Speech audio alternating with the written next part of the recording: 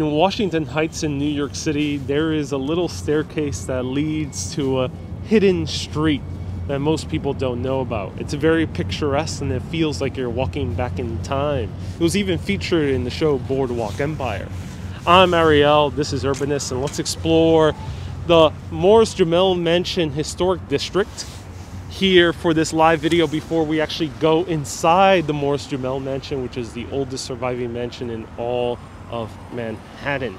We are right now in Washington Heights, which is uptown Manhattan, all the way in the very, very top along 163rd Street stop on the C line. Let me know where you're watching from and let's go explore a little hidden gem in this neighborhood. So I'll show you on the map. We're all the way in uptown and we're right over here, this area. So let's go.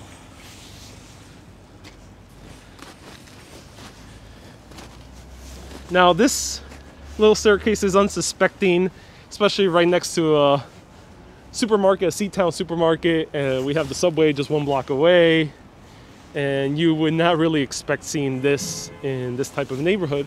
Though Washington Heights does have a lot of historic secrets, this, every time I walk through, just utterly surprises me. So, are you ready? Let's go and see what's above in the staircase. All right. Press that like button if you enjoyed this video, and we'll bring it to more people who need them.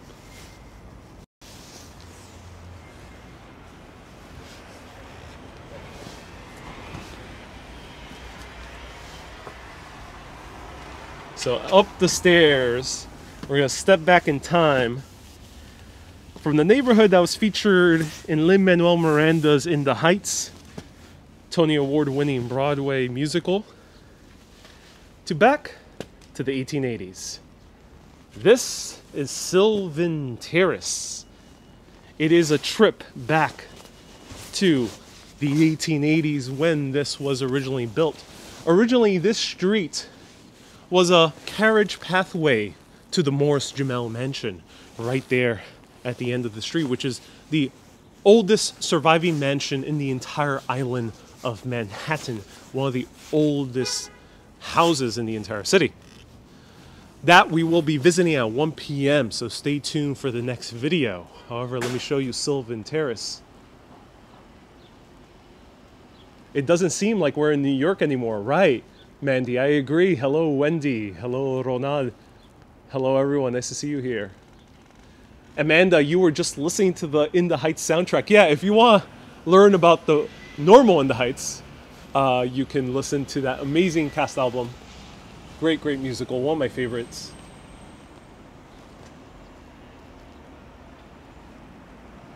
And we got some steam coming out from the apartment buildings. So it definitely feels like you're in a different. Now, these were originally also, before it became houses developed in the 1880s, these were quarters for the soldiers of George Washington. They used this pathway to build some makeshift quarters for the soldiers. Now, these houses are worth a whole lot of money. Last price tag I saw on um, on a few amazing blogs was $1.6 million. It's quite a hefty, hefty price.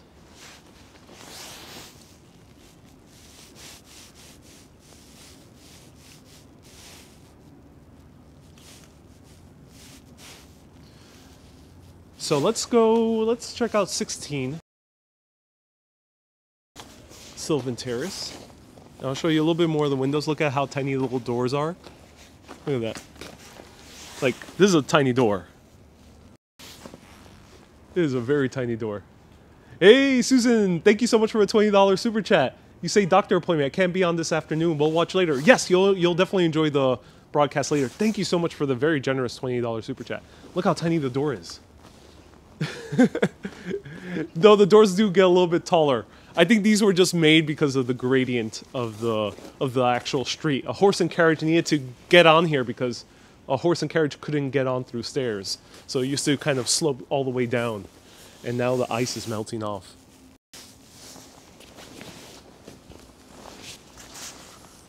So this area is under surveillance. Look at that. So it is a protected little area. Now, in the 1900s, especially towards the 70s, 80s, and 90s, this fell into disrepair. A lot of the original ornaments of the houses and the architectural details were changed and they were in mismatched color. But then they were beautifully restored uh, from the 90s onward quickly becoming one of the most sought after addresses in New York City.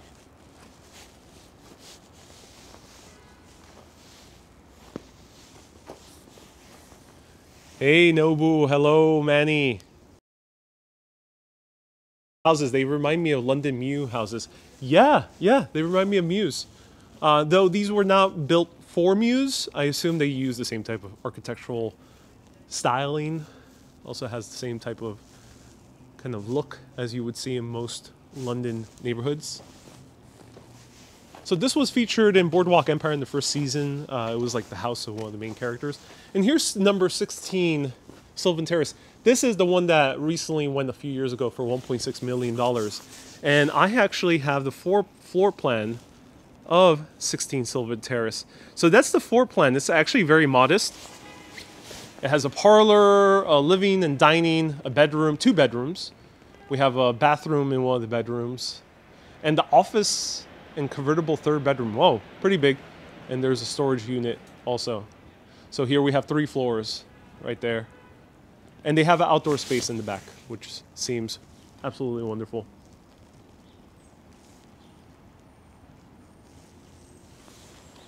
So would you buy this for 1.6 million dollars, a three-story apartment here with a tiny little backyard and up to three uh, bedrooms?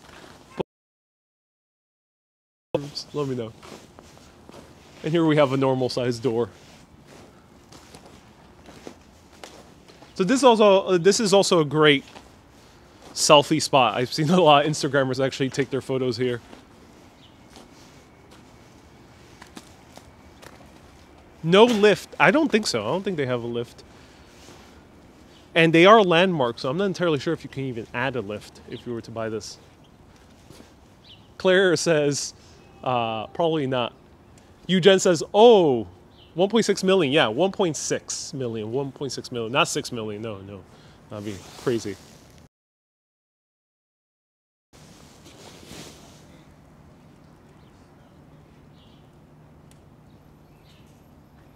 Look at that.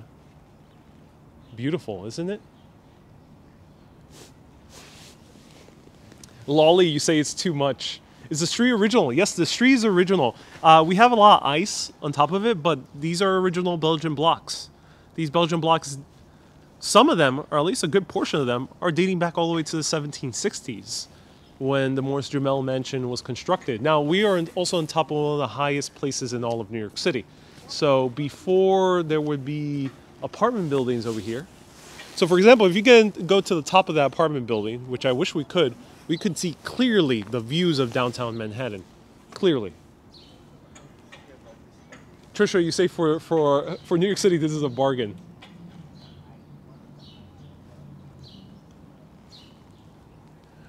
The street has a lot of character, I agree. So Sylvan Terrace. So stay tuned. We're to go here at 1 p.m. next video.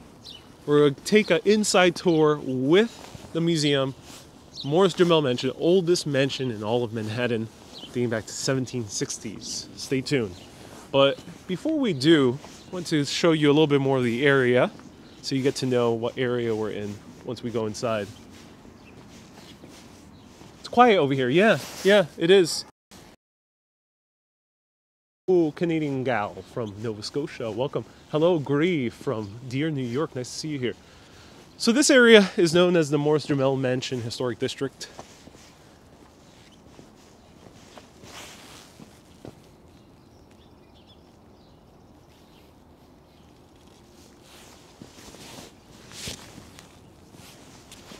And the mansion is haunted. Yes, I will ask about that. I can't give you any guarantees if they'll tell us about the haunted history, Uh, though, watch my previous videos and I will link it to it afterwards so I can show you the haunted history. Yes, a brownstone in the Upper West Side costs $10 million, says Trisha. Yeah, yeah, yeah. Things are getting expensive here in New York City, even though it's a pandemic. And here we have some more Belgian blocks. People might call them cobblestones, but they're Belgian blocks since they're formed into a square. Cobblestones are mismatched pieces of rock. And here we have more historic architecture. So there we see a brown sign. That's how you're able to tell a historic district here in New York City when you have a brown sign.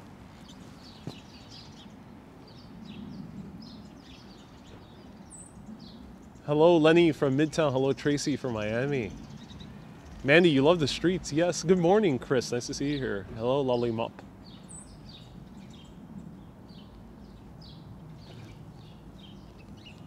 Lenny says, Hidden Gem. Rona says, if you can design the city, do you prefer old architecture or modern uh, design buildings? Ronald, great question. Great question. So, designing a city from scratch is nothing new. There have been many cities where large chunks have been designed in mass from scratch, meaning they've generally had empty land or land that they can easily develop, maybe forest, meadows, whatever, swamp, uh, and then they would just purposely built streets, entire grid system, uh, new buildings and apartments. That is nothing new. The thing is, older urban planning pre the car was built on a human scale. Like these little, this little historic area is on the human scale. So you can easily walk to the nearby grocery store or the nearby coffee shop or, or if you were here in the 1800s, the nearby market but once the car came out in mass in the 1900s, specifically after the World War II in 1950s, uh, cities were starting to be built and things stopped being walkable. And that's why people, when they say old architecture, they associate it with human scale architecture, human scale urban planning. And that said, I would design a city if it were from scratch to be human scale, though it is nice to have older architecture. Older architecture definitely has some magic to it. Uh, especially you can you can definitely revive a lot of these architectural styles and make them new if you wanted to. Because even these styles we see over here are Greek revival or Italianate revival architecture. Hey Tracy, thank you so much for the 100 stars, and you, thank you so much for the 50 stars. So here we have a sign. And it says, this district includes the rows of wooden houses on Sylvan Terrace, the brick Queen Anne style houses. So yeah, these are Queen Anne style. And as I mentioned, they're Romanesque revival, uh, a little bit further down the street, with some rough brownstone basements and first floors and smooth ashlar above. The finest building of the district is the Morris Jumel Mansion, built in 1765 and used as the headquarters for George Washington. You'll learn a little bit more about that.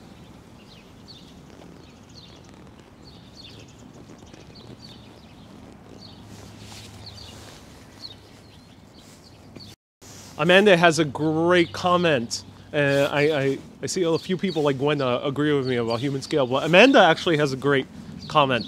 Uh, she says, a lot of people don't want human scale, they want a yard. They're not mutually exclusive. So you don't need to build a car scaled city in order to have a yard. Uh, even if you go to Brooklyn or Uptown Manhattan or anywhere, in generally many parts of Manhattan, even the West Village, these townhouses do have yards. They do have yards. And they have yards sometimes as big as the ones you encounter in the suburbs. But then again, if you want a gigantic, massive yard, do you need one? That's the question. Do most city dwellers actually want a gigantic, massive yard if they're able to walk around to the nearest park or they're able to hang out with friends at the nearest bar or whatnot? Um, necessary to have a massive yard. Think about that. So let me end with showing you the views of the uh, Harlem from here and uh, the rest of Manhattan.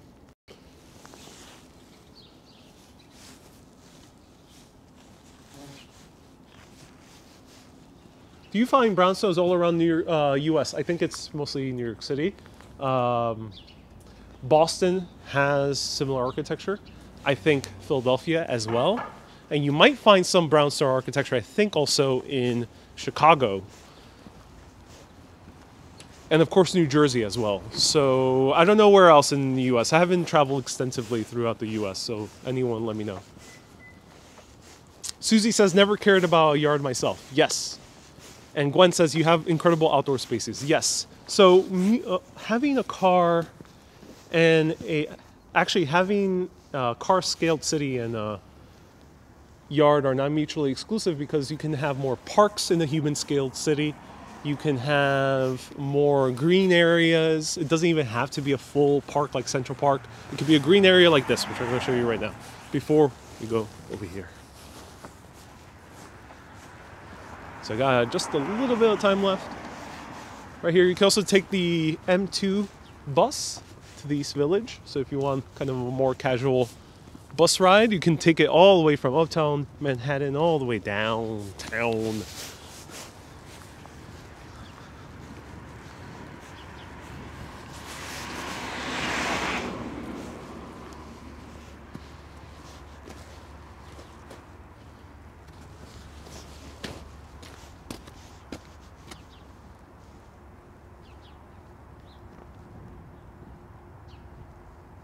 Gwen says uh, pocket parks, and the other Gwen says uh, I like a yard so you can let pets out.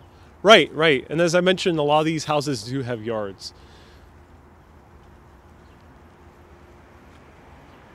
So here we can see views of the Bronx in the distance and the other neighborhoods of Manhattan.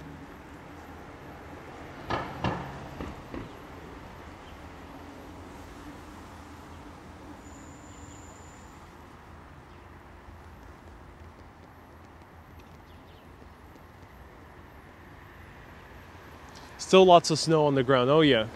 And here we have some Manhattan schist sticking out. Some older light poles as well. Hello, Kenya. So happy you're enjoying Kenya. And Just Kate says, having a, a garden normally increases the house prices in Europe. And hello, Alexandra. Hello, Gary. Thank you so much. Hello, Kay. Thank you so much for letting me know who sent stars. And there we go. So that was a little tour of the Morris Jumel Historic District with Sylvan Terrace. Highly recommend coming here. 163rd Street on the C train is the nearest train. You can also take the bus, the M2 bus from East Village. Have a nice ride uptown, downtown. Actually sounds very nice. Might do that someday. And stay tuned. We're going to go inside the oldest surviving mansion in all of Manhattan, the Morris Jumel Mansion, dating back to 1765. And it ties into Aaron Burr. Yes, Aaron Burr from the Hamilton musical. And yes, also ties into Lin Manuel Miranda because he used this mansion in order to write a special song. Thank you everyone so much for watching. The discussion of cities can get a lot more complicated, but I'm a champion for human scale cities, and I hope showing you these places convinces you that it is possible. So see you soon at 1 p.m. Thank you so much for tuning in. Keep being awesome and always keep on exploring. Have a great day, everyone. Bye bye.